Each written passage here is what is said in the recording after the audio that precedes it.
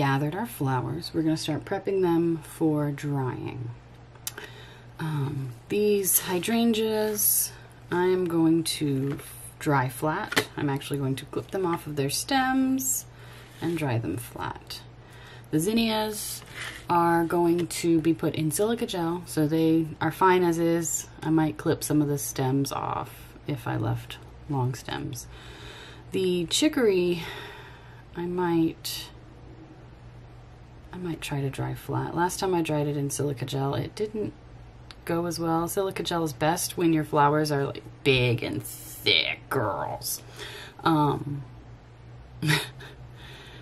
yeah, so when you have thick flowers, lots of petals, it's the best time to use the silica gel because it can really draw that moisture out of there. Um, these are also like, I don't know if you can see just how like deep they are, tall.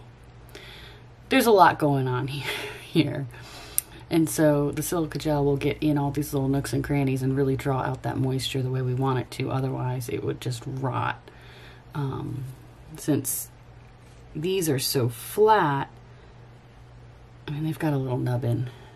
Let's see. Come on. Come on. There we go.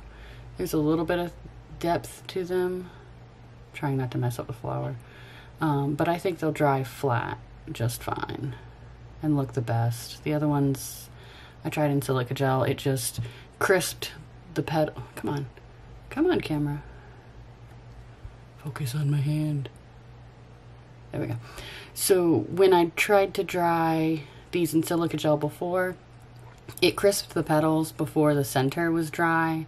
And you really want it all to be very, very dry without being so brittle that you touch it and it just falls apart.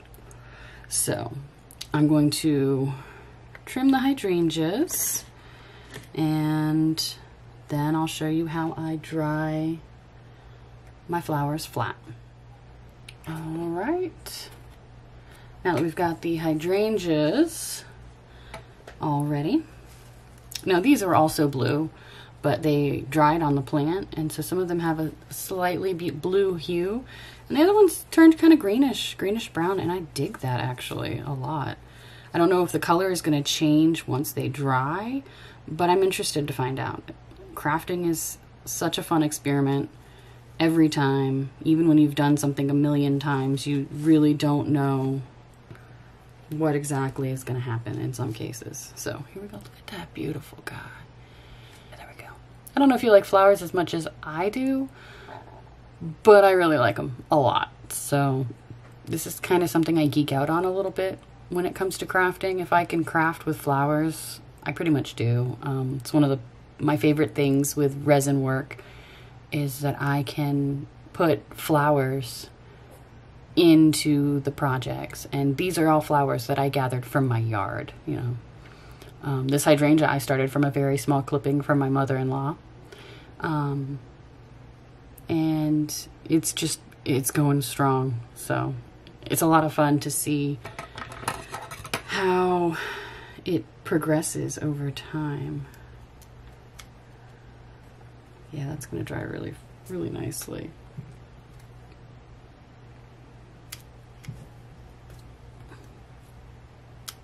And this little guy might seem sad because it only has a few petals, but I can always remove the petals and just use individual petals.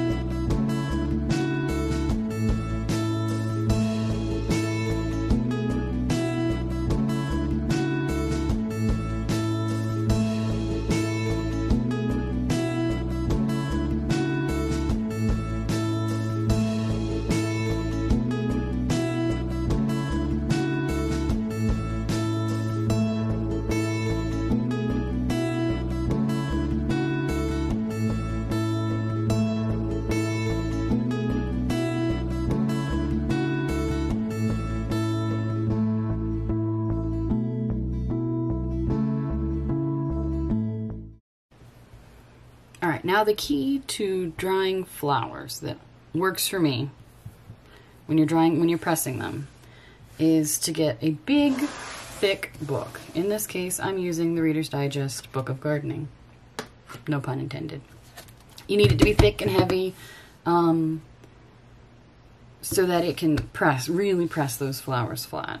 And what I'm actually going to do, because I don't want to ruin my book, I really like this book, I'm just going to lay a piece of white paper, just a regular piece of computer copier paper in here. It also tells me where my flowers are, or plants, because sometimes I dry greens. I actually got some ferns drying right now. and you just want to try to get it as flat as possible.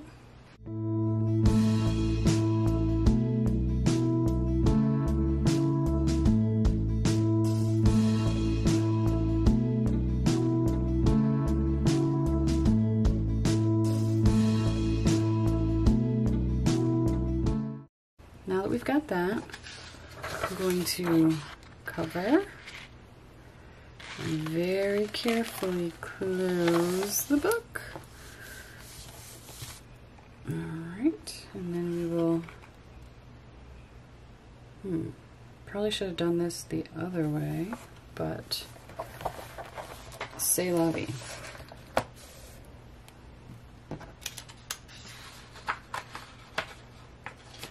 la vie. Another piece of paper.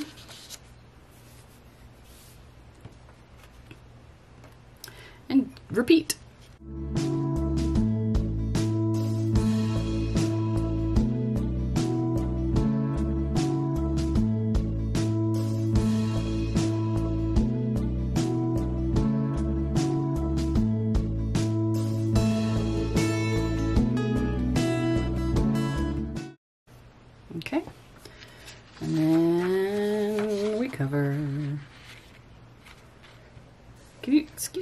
You're sitting on my book. Probably would have been easier to do this backwards. In fact, I'm gonna do this the intelligent way for a change. All right. Yeah. Brain power. Woo woo!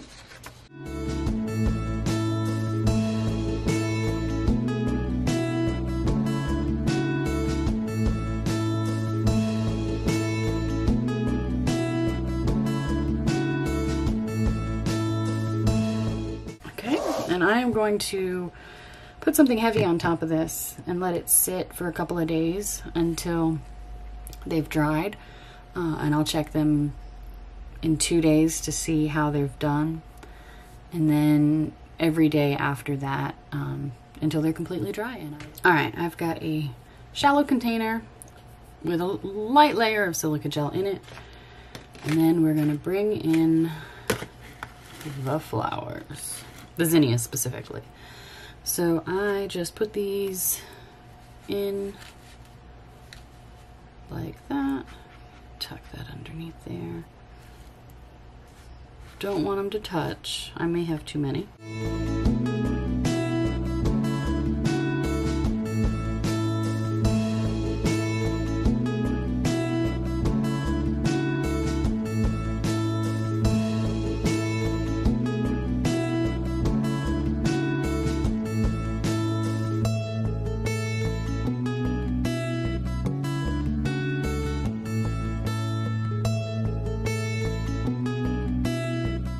Got those in. I think I'm gonna layer. I've got two more flowers. It's not a big deal if I don't get them in. Um, but I'm going to go ahead and pour some silica gel over them.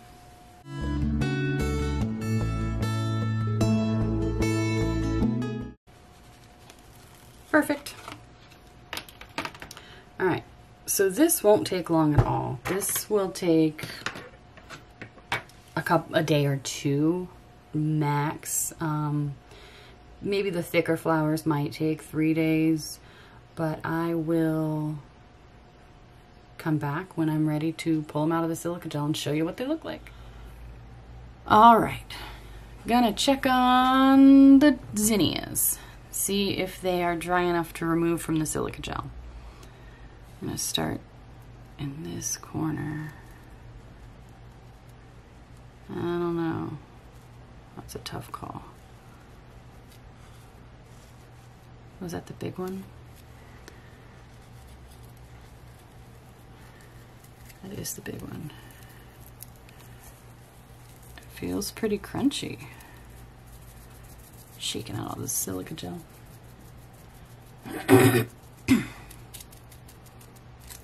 If this one is dry, odds are most of them are. It feels pretty crunchy to me. Color faded a little bit, but I still think it's pretty cool. It'll look cool in some resin, that's for sure. That's for sure. Yeah, I think we're good. Awesome. So we excavate some more. Found another one.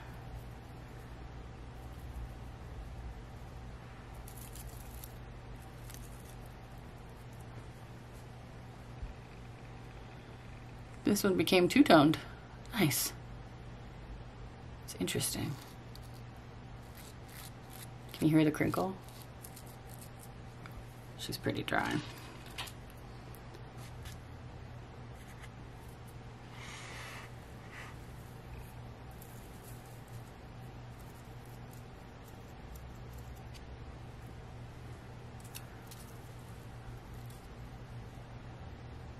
Come on. Focus on my hand.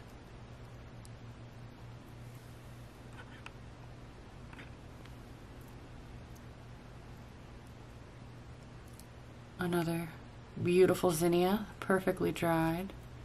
Colors are a little funky, but I like it. All right.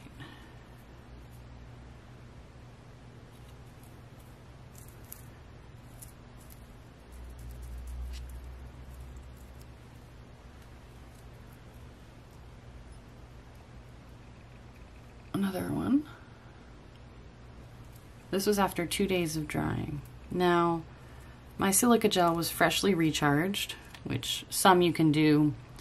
Um, some of them you can recharge by applying heat to soak up any moisture. You, I don't know if you can tell, but there's a pinkish hue when silica gel is charged. Uh, it has these blue crystals. See how this looks bluer? Um, so as the silica gel absorbs the moisture from whatever you're drying out, when it turns pink, it needs to be recharged. Uh, and I usually just microwave it because it's silica gel, it holds a lot of heat. So I think the discoloration occurred because the silica gel, when I poured it on, was still warm. Not hot, but warm. So that may have affected the coloring. I'm relatively new to using silica gel. Yeah, there's another one that's discolored. I think that's exactly what happened. I still like them. I'm still going to use them in projects. It's just something for me to be aware of in future silica gel applications. Oh, the big one.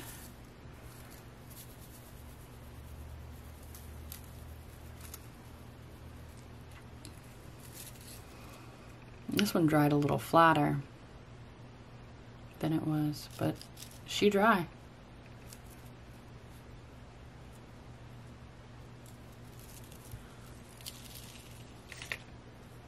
Random petal. And another petal. It really is like a scavenger hunt. I feel like an archaeologist or something. This little guy turned funky color. Come on.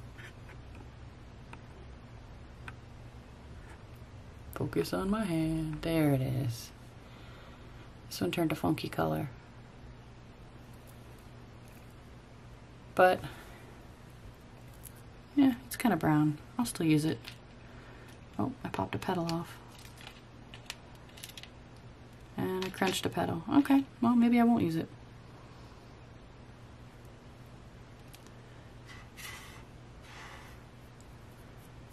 See, I can pour some of this out. I think that's what I'll do.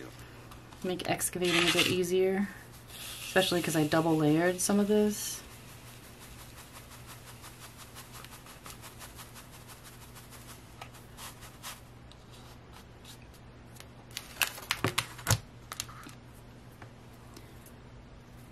Make sure to get all the silica gel off, or as much as possible anyway.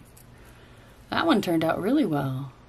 Yeah, hardly any color loss at all, except for maybe a little bit close to the middle port, middle part, middle port. It's not a port. Yeah, some of these definitely got a little burned. Look at that one. That one's kind of cool. Burning Burninating and all.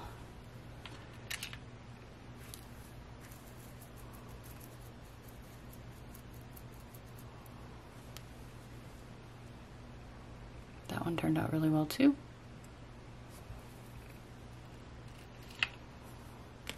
This one, this one definitely saw some better days. The golden parts on camera look golden, but in person they're more of a brown. Might still be able to use it though. Can't let my flower babies go to waste. This one's a little rough. On camera, it looks so much nicer. Come on, focus. There we go. It looks more yellow on camera than the brownish tones it has in person. All right. How you doing? That one's all right. I can dig it.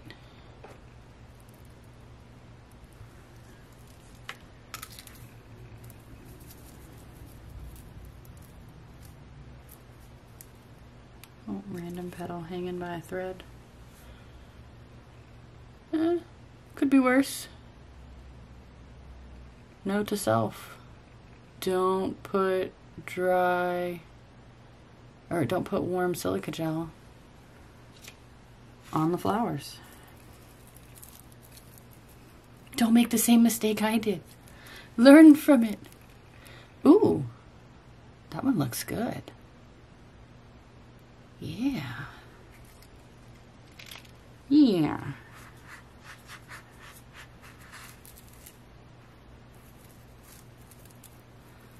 I'd say two days was just the right amount of time for these guys. Oh, look at that one. Come on, focus.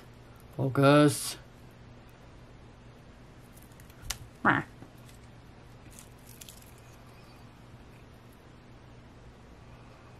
One's really pretty. It's a little bit paler on camera than it is in my hand.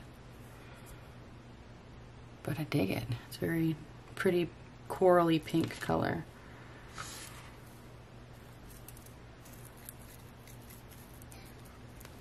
Ooh. Come on now. Come on now. There we go. Look at that. Very pretty. Although I think it's focusing on my nail. There it is. There it is.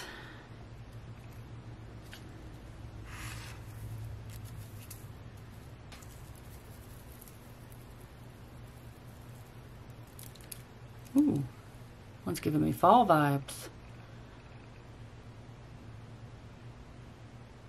I may have just found a use for this guy, or thought of a use.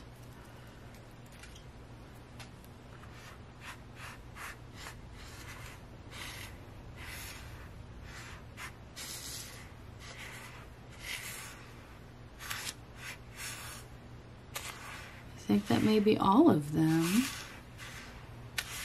That doesn't seem right. Let's try pouring more out.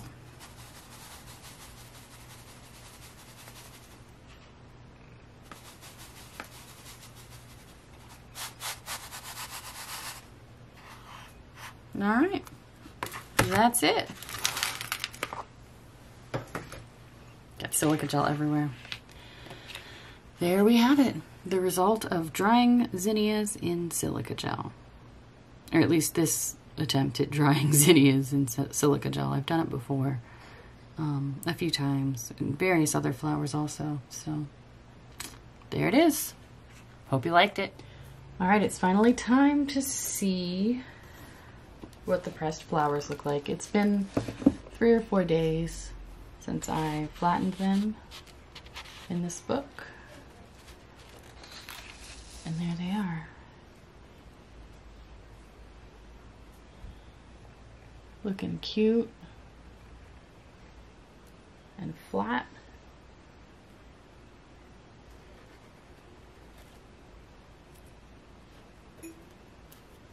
And I can't wait to use them in resin projects.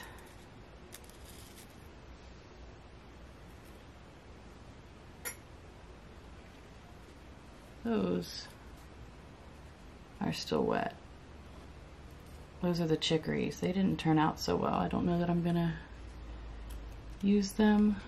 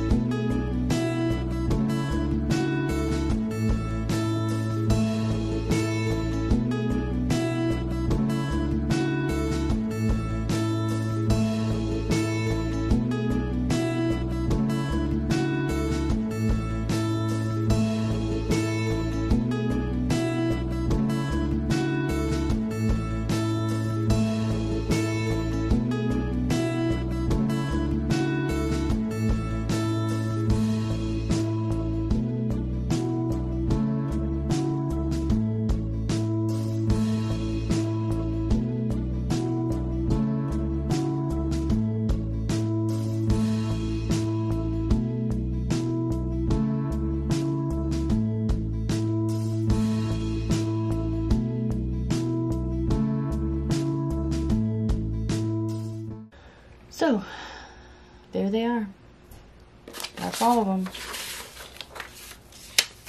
They are dried, they are pressed, they are all in their glory.